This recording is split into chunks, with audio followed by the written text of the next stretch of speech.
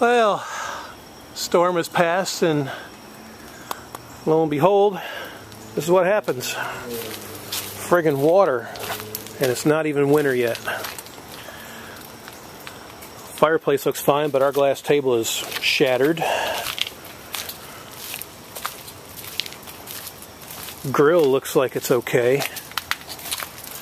Wow. Just leave it. Well, I guess I need to figure something out because this is not good. Our sitting area is pretty much trashed now. I mean, the fireplace survived fine, but glass everywhere. Uh, Bonix is probably hiding somewhere because I'm sure this freaked him out because his rabbit food is right there. Well, might as well clear this debris out and get this branch dragged out of the way so I can see the rest of the damage here. Well, I got most of it out of the way, except for this big branch. That's the second one there. My aloe. It took a hit. I need both hands to get this up. Yeah, it took a little bit of damage. Yeah.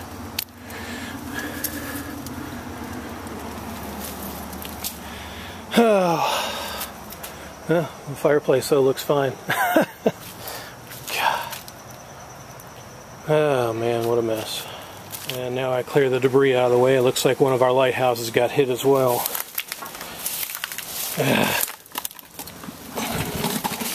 Oh yeah, it's pretty much destroyed.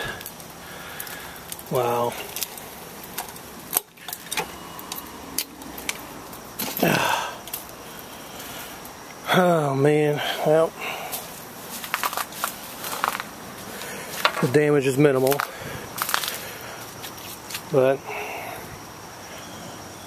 what a hassle. All because of my great oak tree. I gotta get this thing pruned, but man, it ain't gonna be cheap. Oh man.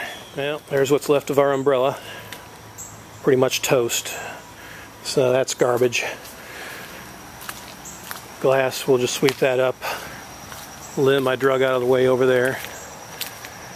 And yeah, I'll just worry about cleaning this up another day because I gotta work this week and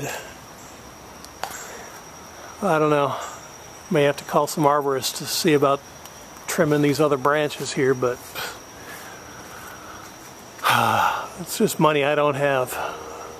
So, I don't know. Oh well. That'll do it for yeah, I said the hell with it. I went ahead and cut that large limb in half, drug it to the road, and I'll let the city pick it up. I got enough firewood as it is, and it's just aggravating seeing that sitting in the backyard.